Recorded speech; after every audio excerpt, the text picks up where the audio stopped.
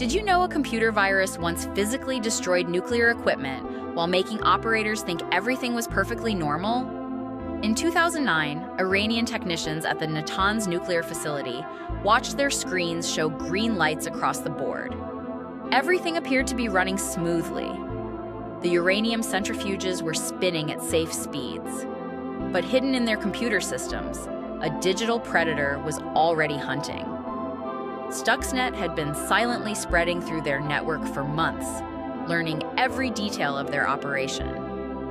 Then it struck.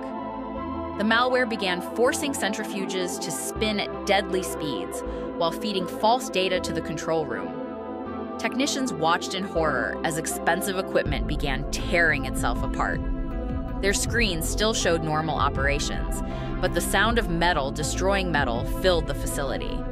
Hundreds of centrifuges were permanently damaged, setting Iran's nuclear program back by years. This wasn't a system failure. It was the world's first cyber weapon designed to cause physical destruction. Later, the world learned the truth. Stuxnet was a joint US Israeli operation. Digital warfare had crossed into the physical world,